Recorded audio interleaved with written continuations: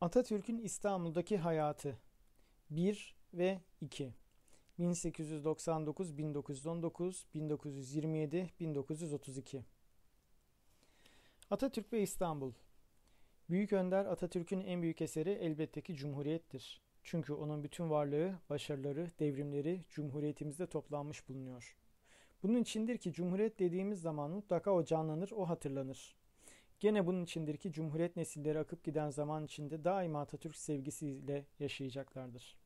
Yalnız Atatürk devrini yaşamış olanlar Türk nesillerinin en bahtlı ve en bahtsız insanlarıdır. Bahtlıdırlar çünkü onun altın devrini yaşadılar. Bahtsızdırlar çünkü o büyük varlığın hayata veda edişinin sonsuz elemini duydular. Hele İstanbul.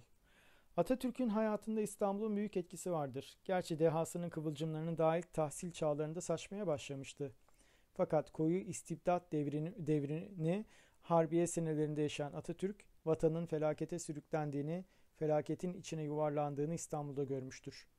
Bu şehirde tutuklanarak hapse atılmış, bu şehirden sürgün edilmiş, hürriyetsizliğin boğucu, teneffüs edilmez havasını bu şehirde teneffüs ederek yarı ömrüne geçirmiştir.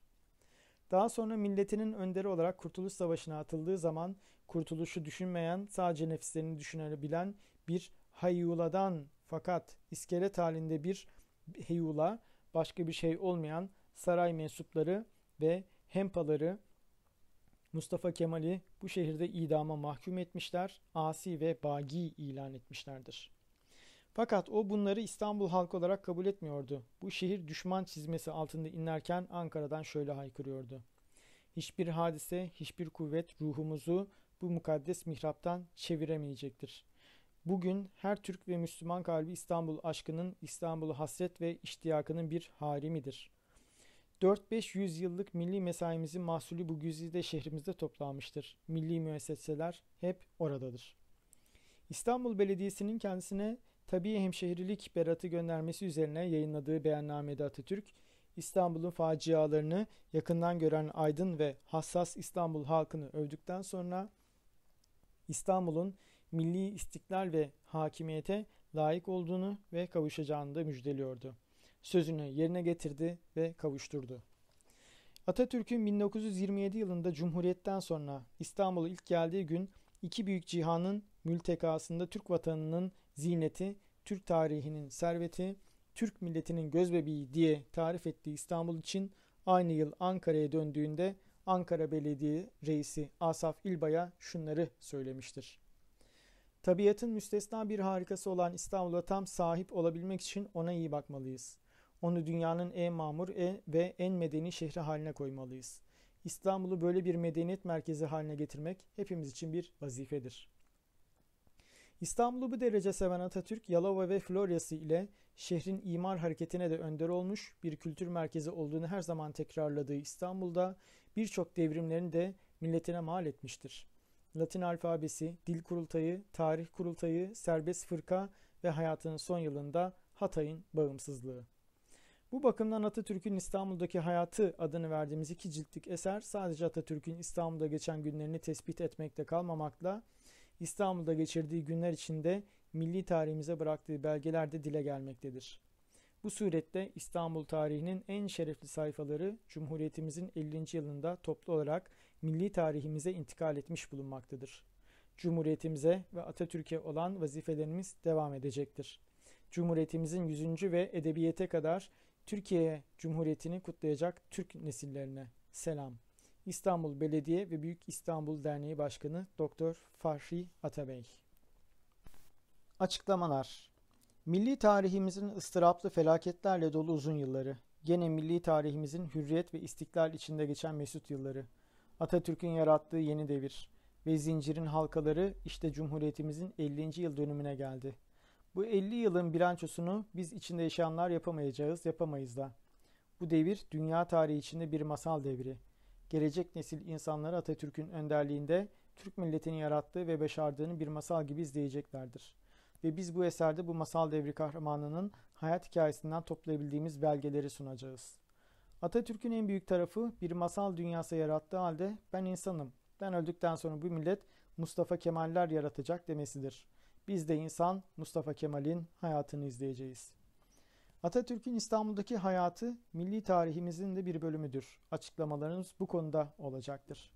Atatürk'ün 1899-1916 dönemi çok işlenmiş, belgeleri tarihe mal edilmiştir. En son olarak arkadaşım Kemal Zeki Genç Osmanlı ile hazırladığımız Atatürk Ansiklopedisinde bu dönem bütün ayrıntılarıyla bir araya toplanmıştır. Bu eserimizin ağırlıklı yönü Atatürk'ün 1916-1938 yıllarını kapsamaktadır ki bu dönem bugüne kadar birçok eserde toplanmamıştır.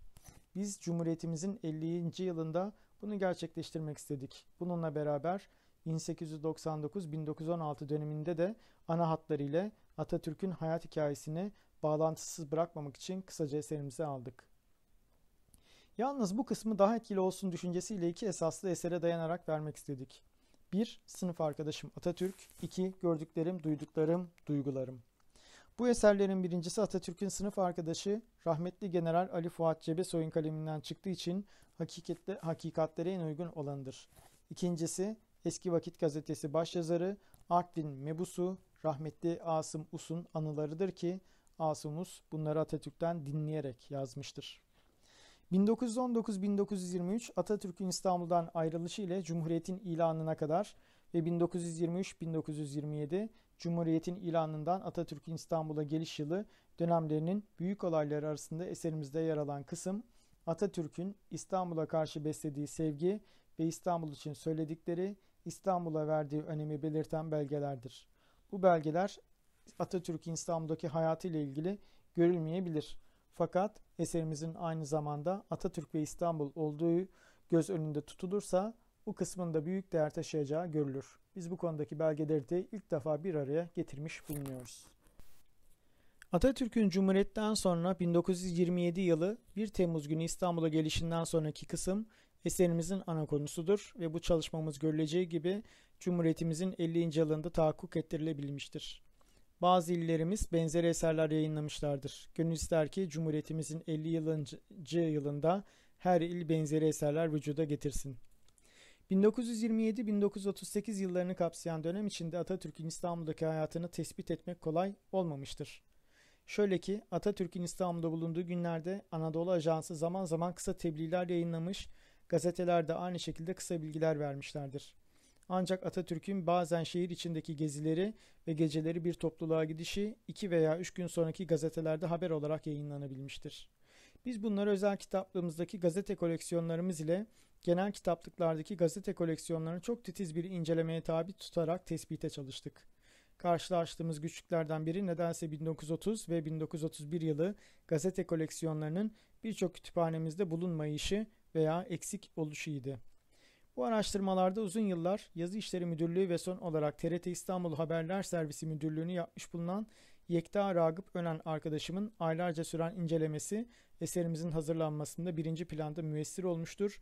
Kendisine teşekkür ederiz. Sayın Doktor Fahri Atabey'in ön sözde belirttiği gibi Atatürk İstanbul'da birçok devrimlerini gerçekleştirmiştir.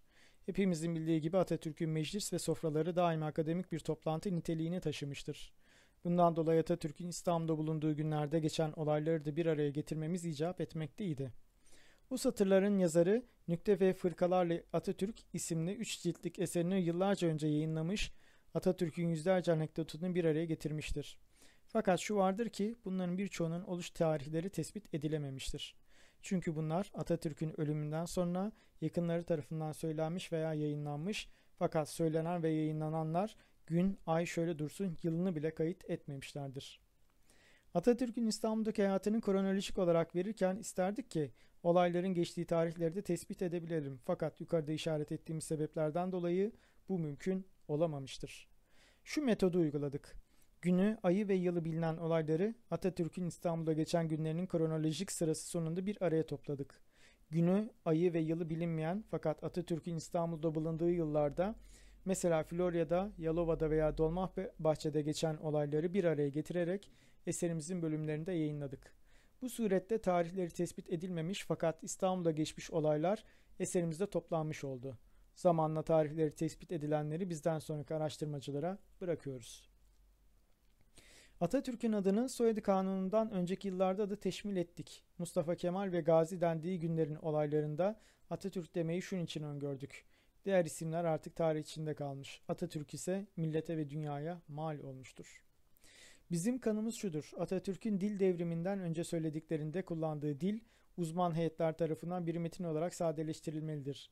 Büyük Nutuk da türlü kişiler tarafından türlü ifadelerle sadeleştirilmiş ve çelişkilere yol açmıştır. Bu düşüncemizin gerçekleştirilmesi için biz kitabımıza aldığımız sözleri aynen muhafaza ettik.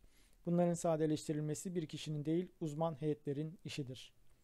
Eserimizin tam ve kusursuz olduğunu iddia edemeyiz. Elbette bizden sonra gelenler bu konuda da daha çok çalışacaklar ve daha mükemmel eserler vereceklerdir. Yalnız biz Cumhuriyetimizin 50. yıl dönümünde konuyu ilk defa ele alarak büyük insan, büyük asker, büyük devrimci Atatürk'e ve Cumhuriyetimize güzel İstanbul'umuzun minnet ve şükranlarına bir Atatürkçü olarak naciz bir hizmette bulunmuş olmanın hazzını duymaktayız. Niyazi Ahmet Banoğlu